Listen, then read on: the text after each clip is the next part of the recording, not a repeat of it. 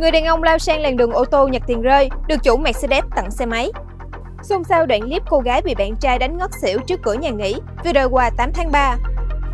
Tài xế đánh rơi cọc tiền 20 triệu, phụ xe phía sau xuống nhặt rồi rời đi.